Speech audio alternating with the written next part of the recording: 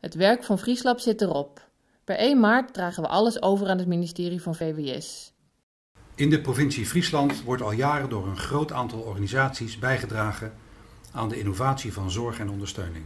Frieslab is daar één van en werd in 2009 met steun van mijn voorganger gestart toen steeds vaker en luider te horen was dat het beleid niet meer goed aansloot bij de praktijk.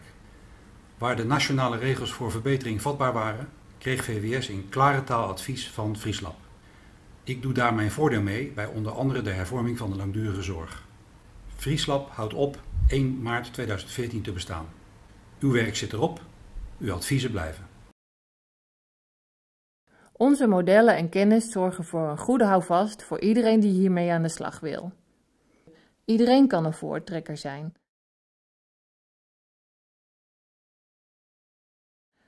Wat een positieve energie en veranderkracht zit er in de zorg. We zijn trots op alle voortrekkers die tijd hebben vrijgemaakt om met ons hun ervaringen te delen, de discussie aan te gaan en die bereid waren om te werken aan structurele oplossingen.